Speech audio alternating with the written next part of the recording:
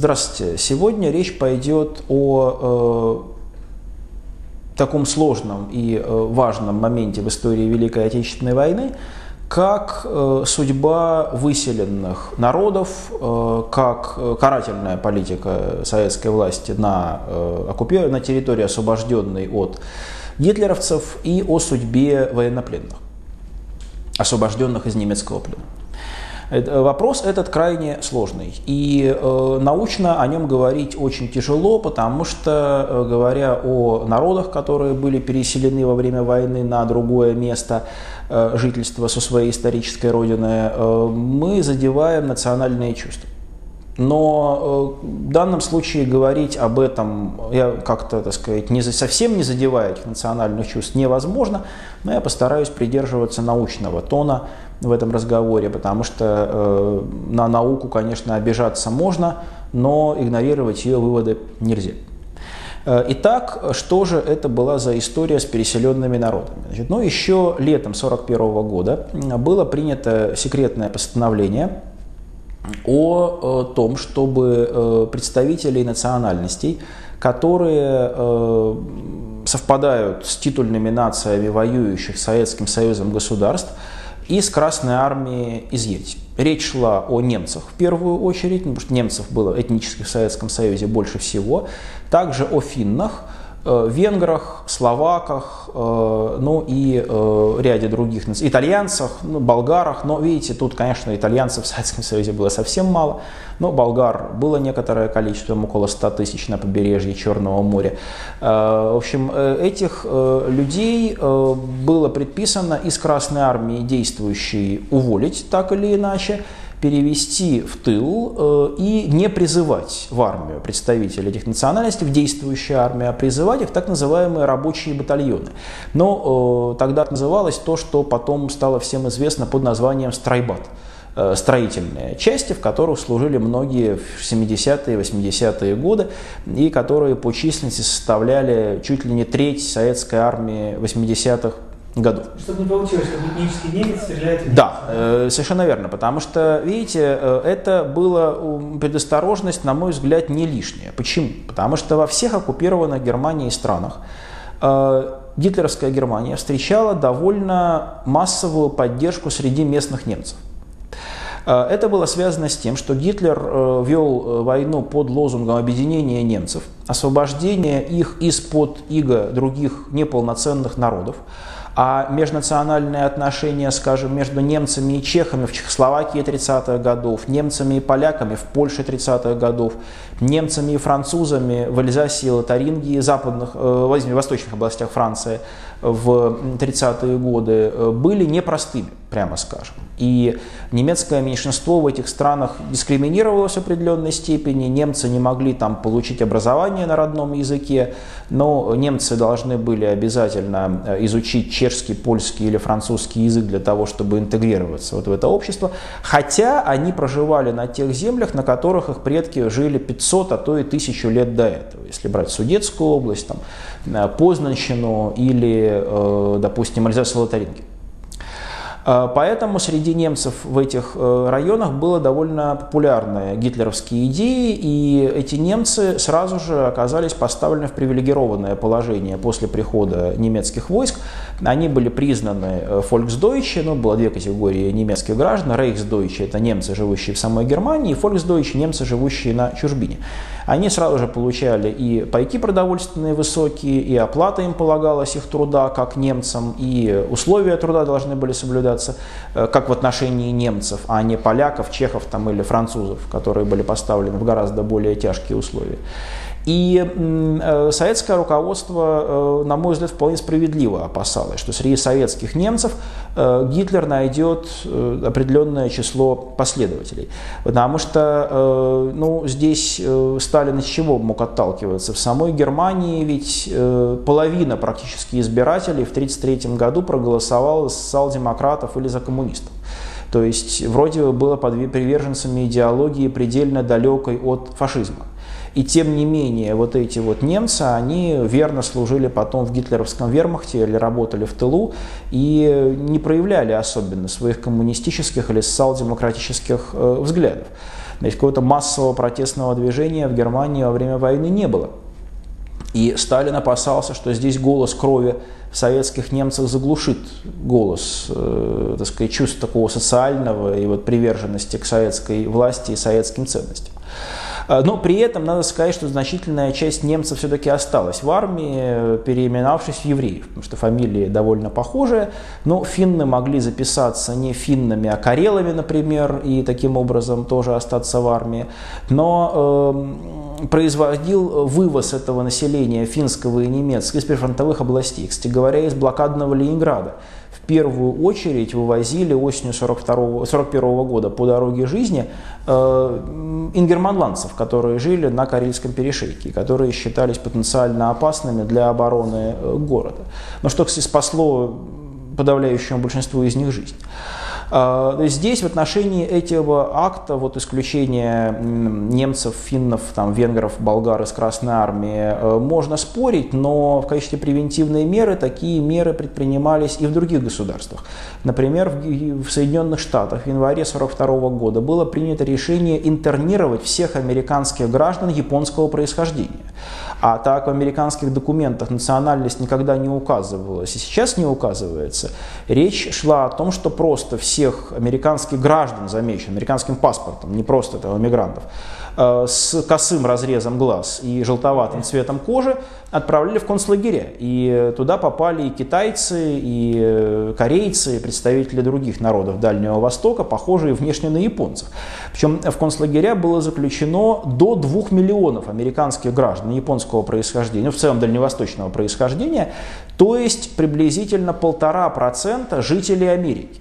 Причем их потомки до сих пор судят с американским правительством, требуя компенсации за то, что их предки три года провели за колючей проволокой на Тихоокеанском побережье США, и до сих пор э, американское правительство не считает, что это какое-то особое насилие над американскими гражданами.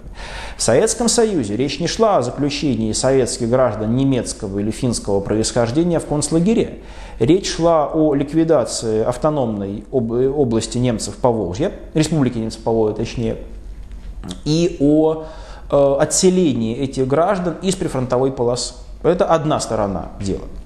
Вторая категория выселенных народов – это народы Северного Кавказа и юга страны, то есть крымские татары, чеченцы, ингуши, турки, месхетинцы, которые были выселены уже во второй половине войны, в 1943-1944 годах, когда Красная Армия освобождала эти территории. И э, когда э, выяснилось, что отношение многих представителей этих народов к войне, оно, ну, так сказать, не соответствует тому отношению, которое было у большинства населения Советского Союза.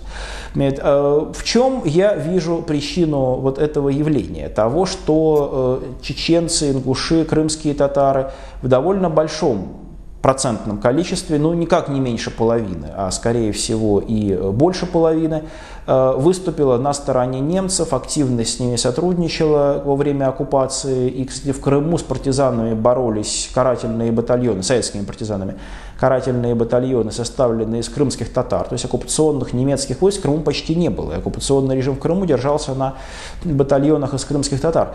Э, вот в Чечне была похожая ситуация. Э, после освобождения этих территорий были попытки вести партизанскую войну против Красной Армии на этих территориях, почему эти народы вот заняли такую, э, почему представители этих народов заняли такую позицию. Мне кажется, ответ заключается в том, что эти народы сохранили клановую структуру до 21 века, и сейчас мы видим, что среди чеченцев, ингушей, э, крымские татар клановые структуры очень сильны. Э, кровная месть и сейчас там вполне актуальна, ну а 70 лет назад она была еще более, этот обычай был еще более живым. И в результате все кланы, все вот эти тейпы того или иного народа, который живет э, с такой структурой, они связаны друг с другом узами кровной мести. То есть, другими словами, если половина э, родов становится на сторону красных, другая обязательно на сторону белых, потому что она не может быть в том же лагере, что и их кровники. Если часть э, родов чеченских становится на сторону Красной Армии во время войны, и их представители служат в Красной Армии, то другая часть обязательно их кровники должна стать на сторону гитлеровской Германии. То есть получается, что эти народы друг были разбиты? Как э, Фактически да, но эти, они не были расколоты на две какие-то симметричные, легко отделимые друг от друга половины, потому что каждый род, он связан с множеством родов, вот этими отношениями, с одной стороны родства, а с другой кровной мести. И поэтому выбор каждого рода, он оказывается э, ну, таким индивидуальным. Но в конце концов получается ситуация, когда в это клановое общество... Сейчас в Чечне мы видим то же самое. Часть родов стоит на стороне Москвы, так условно говоря, а другая часть стоит на стороне сепаратистов и боевиков, там, ваххабитов, террористов и тому подобных сил, ну, которые выступают, так скажем, за другую Чечню, так сказать, не подчиненную Москве и устроенную на других основаниях. И здесь дело даже не в социальных отношениях, дело именно в кровно-родственных отношениях, доставшихся современным чеченцам, ингушам, крымским татарам от эпохи э, первобытности. То есть это отличается от понятия национализма? Безусловно. Это не национализм в значении европейском XIX века. Потому что для европейца 19 века национализм или 20 века это все немцы, там, братья, а все французы и славяне недочеловеки. Или все французы – это высшая раса, а немцы – это тевтоны, варвары, там, гунны и так далее. Или там, предположим, ну, не знаю, все русские – это, так сказать, высшая раса, там, а выходцы с Северного Кавказа – это представители там, каких-то э, недолюдей. Это совершенно другая, совершенно другой тип отношений, построенный на кровно-родственных связях. И здесь мы имеем дело с тем, что исторически понятие национальности изменяется. То есть в свое время это кровнородственные связи, затем религиозные связи их сменяют, когда в средние века католик свой, мусульманин чужой, православный свой, да, католик и мусульманин чужие. И если татарин принимает православие, он свой, а если русский принимает ислам, он выродок, он, так сказать, отщепенец, и он э, достоин самого страшного наказания, более, так сказать, жестокого обращения, чем мусульманин природный. Но то же самое было и с католиками во время борьбы с Османской империей. И потом в 18-19 веке возникает современное, национальное чувство, когда язык является главным э, связующим фактором между людьми одной и той же национальности. То есть если вы говорите по-французски, вы свой, если ваш родной язык французский. Если ваш родной язык немецкий, японский, там, русский, китайский, значит, вы свой, а если ваш родной язык не русский, не немецкий, там, не китайский, вы чужой. И вот современные народы Северного Кавказа, многие, у них осталось вот то представление о принципах связи между людьми, которое было характерно для родового общества. Поэтому э, возникает еще одна сложность, которую мы наблюдаем и во время чеченских войн, вот первый и второй в 90-е годы и в начале 21 века. Если один из родственников, скажем, ну, уходит в лес и начинает партизанскую войну, ну или заниматься бандитизмом, тут уж это термины в зависимости от нашего отношения к этому человеку. Все его родственники, независимо от их общественного положения, от их собственного мнения, обязаны ему помогать. Если они его не накормят, не спрячут, там, не передадут ему продукты, Э, одежду, там, не снабдят его информацией, то они подвергнутся всеобщему осуждению, как люди, которые предали своего родственника. И поэтому, ну, есть, конечно, такая процедура там, отречения от сына, изгнания из рода, но это крайний случай. То есть человека могут изгнать из рода, но это, это все позор для этого рода, что в этом роду появился такой отщепенец. То есть если, допустим, один из э, чеченцев уходит к ваххабитам, то его родственники должны ему помогать. Даже если они сами не хотят победы ваххабитов, они равнодушны к э, исламскому фундаментализму, они хотят спокойно жить. В результате получается, что среди своих односельчан, среди своих родовичей этот партизан или бандит, как хотите назовите, находит поддержку. Всегда. И э, советская власть могла пойти в 1944 году в отношении крымских татар, ченцев, ингушей по другому пути. По пути строгой формальной законности. Наводнить Чечню частями Красной Армии, э, истребить э, вот это вот подполье, наказать, э, присудить тюремные сроки всем родственникам, которые помогали этим людям. И вот это был бы настоящий геноцид. Это привело бы к тому, что значительная часть мужчин была бы расстреляна, а значительная часть, другая часть мужчин, ну и большинство женщин и э, стариков, они бы оказались в лагерях, получив срок 5-10 лет за пособничество дезертирам, бандитам там, и так далее. И в этом случае я совершенно не исключаю, что чеченского народа сейчас бы и не было. И он был бы в разы меньше, может быть, или крымско-татарского народа бы не было. А выселение на другую территорию, оно э, помогло, э, как бы сказать, э, переключить вот интересы этих людей на строительство своих жилищ на новом месте. У них не осталось времени для борьбы вооруженной. И в результате получилось, на мой взгляд, оптимальный выход из ситуации. То есть народы эти сохранились, и проблема восстания на этих территориях была ликвидирована. А ведь заметьте, что в Прибалтике этот механизм не был применен. Хотя там тоже существовало вот это подполье пронемецкое в 44 45 46 году лесные братья. Почему? Потому что Сталин прекрасно понимал, что латыши, эстонцы и э, э, литовцы – это нации уже современной формации, у которых родовая структура давно распалась, и которых объединяет язык.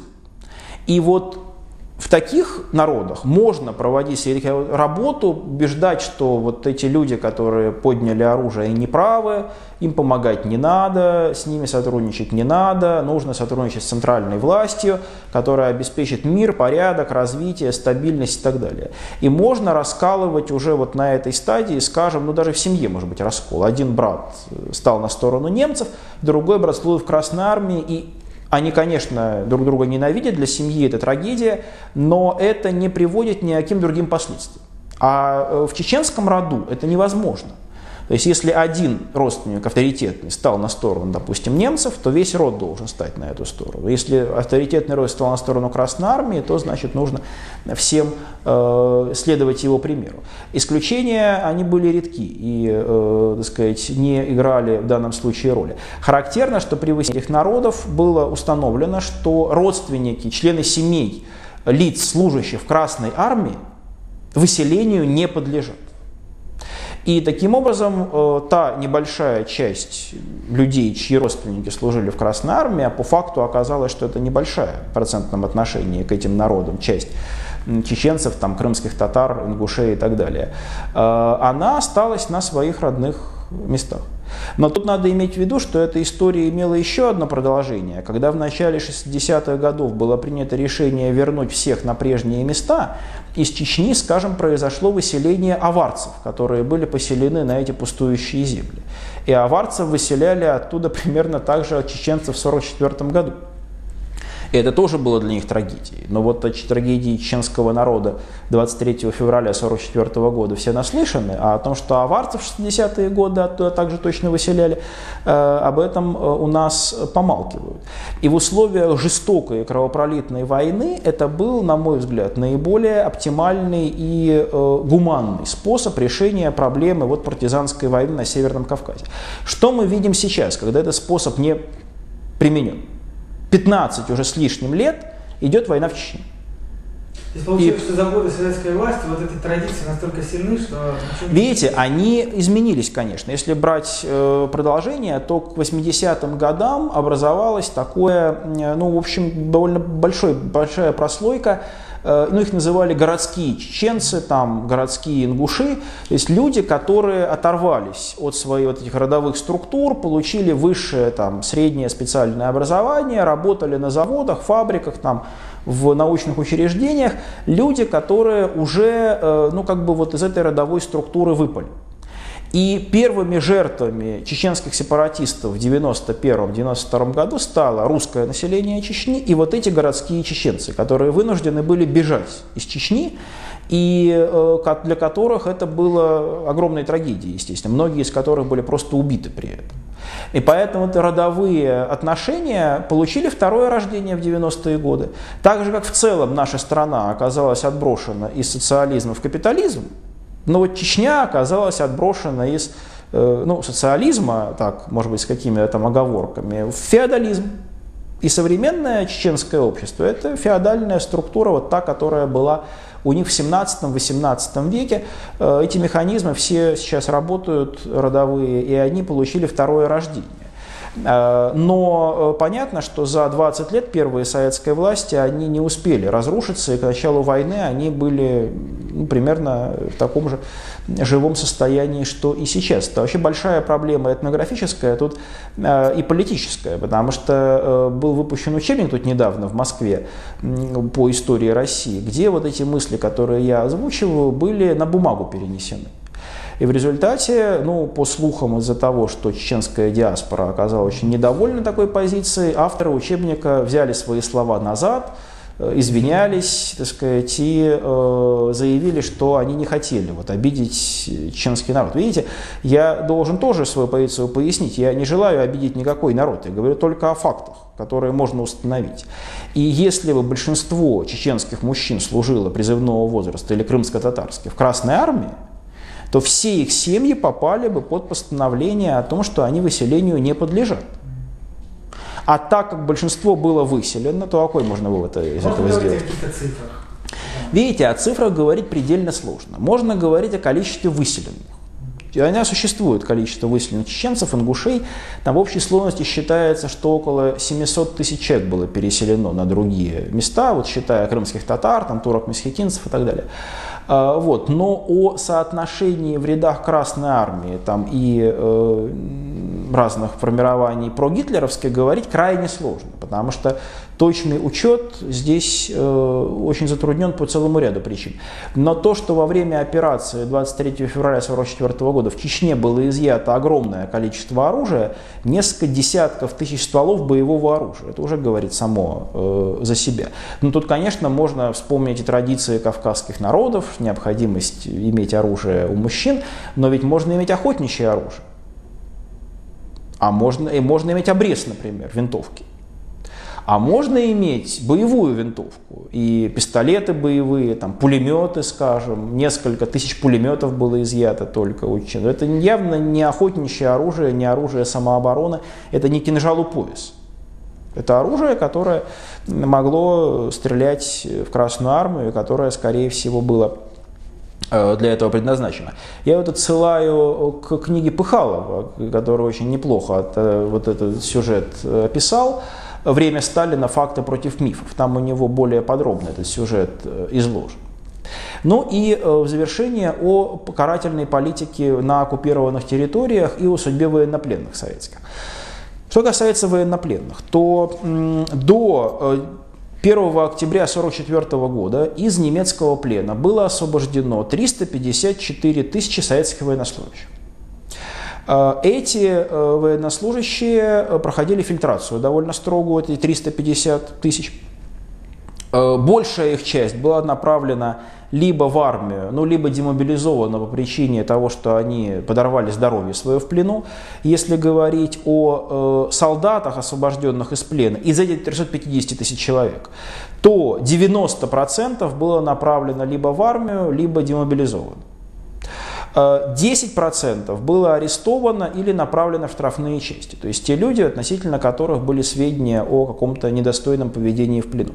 Что касается офицеров, тут расклад был несколько другой. Две трети офицеров было отправлено в армию или демобилизовано. И одна треть, но если быть точным, 36% офицеров, освобожденных из плена, была отправлена в штрафные части. То есть здесь в отношении офицеров мы видим достаточно пристрастный подход, но и я не исключаю, что среди них были люди, которые ну, по каким-то случайным обстоятельствам подверглись обвинению в сотрудничестве с немцами во время э, своего пребывания в плену или в том, что они добровольно сдались в плен. Но, с другой стороны, понятно, что в любой армии ответственность офицера всегда должна быть выше ответственности солдата. Обязанность СААТа исполнять приказания, офицер их отдает, и поэтому он должен отвечать более строго за свои поступки. С ноября 1944 года по май 1945 года учет освобожденных пленных вообще не велся, и они все зачислялись в те части Красной Армии, которые их освобождали. Либо отправлялись в госпиталя, как обычные военнослужащие.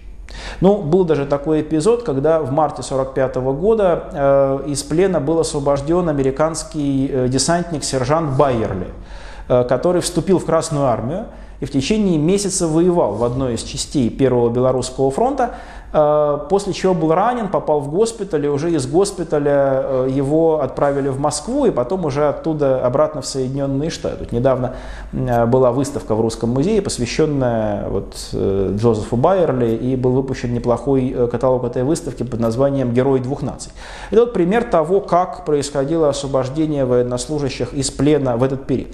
И, наконец, после 9 мая 1945 года было освобождено 1 миллион 539 тысяч военнослужащих Красной Армии из плена.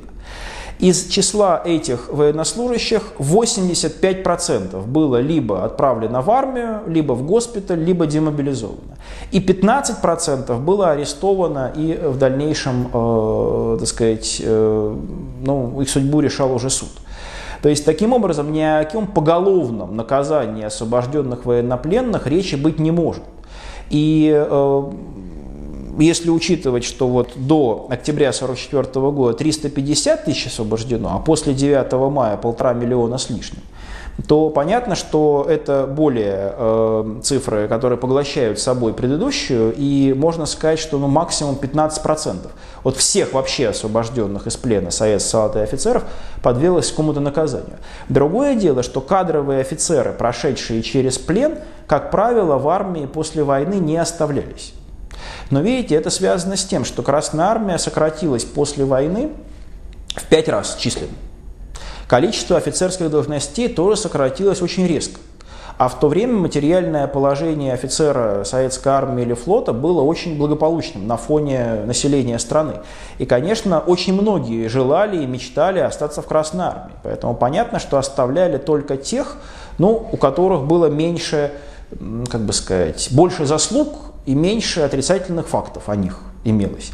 И понятно, что если командование могло сделать выбор, на одну должность претендовало четыре офицера, которые не были в плену, и один офицер, который был в плену, а нужно было одного из них оставить на службе, остальных демобилизовать. Понятно, что командование предпочитало людей, которые не были в плену. Тем более, что многие были в плену с 1941 года, и опыт войны, в общем, для них э, прошел мимо. Они не принимали участие в боевых действиях уже окончательного периода завершающего войны, когда Красная Армия показала, э, так сказать, мастерство очень высокое ведения боевых действий. Конечно, можно сочувствовать этим людям, но с точки зрения организации армии говорить о репрессиях не приходится это было ну, такое вот нормальное организационное решение. Конечно, среди тех, кто были осуждены после пребывания в плену, были и невинные люди. Исключать этого нельзя. Но говорить о каком-то массовом там, заточении пленных в лагеря, конечно, нет никаких оснований. Ну и, наконец, об оккупированных территориях. Когда в 1941 году в конце начали освобождать э, районы Московской области сначала, там первые Э, районы Ленинградской области, там район Тихвина, то первоначально очень строго подходили к теме сотрудничества с оккупантами. То есть, скажем, могли привлечь к суду, да, например, женщину, которая оказалась в оккупации там, с маленькими детьми, горожанка, э, которая ради того, чтобы прокормиться, пошла машинисткой работать в какую-нибудь немецкую управу она могла действительно быть привлечена к ответственности. Ну, я уж не говорю об инженере, который там при немцах э, участвовал в починке водопровода в каком-нибудь крупном городе. Э, и э, тем самым, ну, вроде как работал на немецкую армию. Потом этот период очень быстро прошел, период излишних строгостей, потому что стало ясно, что в оккупации обвинять человека, который там восстанавливал водопровод в крупном городе, чтобы население этого города осталось живо и не умерло от холеры там, или от других инфекционных заболеваний, но его нельзя рассматривать как просто пособника немецких оккупантов. Или женщина, которая из-за того, чтобы спасти от голода своих детей, работала машинисткой там, или секретаршей в каком-то немецком учреждении. И когда началось массовое освобождение освобождения э, территории советской в 1943 уже году, э, то подход был очень дифференцированным. Те, кто занимали ответственные должности при немцах, то есть бургомистры, старосты, либо те, кто носили оружие при немцах, полицаи, э, они, конечно, подвергались наиболее суровому наказанию, но это отнюдь не был расстрел. То есть, как правило, это был определенный срок. Для того, чтобы получить расстрел, нужно было суть конкретные преступления, участвуя в уничтожении советских граждан или в операции против партизан. Ну а как говорится, мелкая сошка, то есть люди, которые оружие в руках не держали, ответственных должностей не занимали, они никакому наказанию и не подвергались. Другое дело, что после войны, конечно, при приеме на ответственную работу какую-то, этот факт пребывания в оккупации или факт, ну, тем более работы в каких-то оккупационных учреждениях, ну, хотя бы и не ответственный, он был фактом, ну, как бы сказать, портящим биографию, так скажем. Но видите, ведь надо же э, понимать, что среди людей, которые остались на оккупированной территории, были те, кто сотрудничали с партизанами кто боролись с немцами, кто были в подполье, кто в конце концов там пешком уходил из оккупированных территорий и пробирался через фронт на неоккупированную территорию.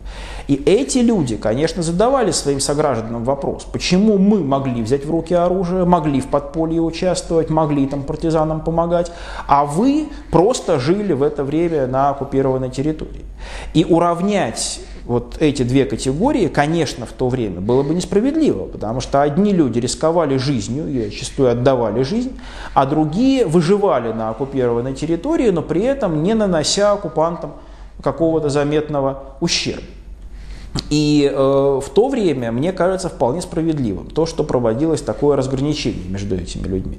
Потом, уже с 70-х годов, этот пункт ушел из анкета пребывания на оккупированной территории, на это перестали обращать внимание, что пришло новое поколение, э, которое уже ну, в малолетстве на оккупированной территории находилось, и с него требовать там ничего было нельзя.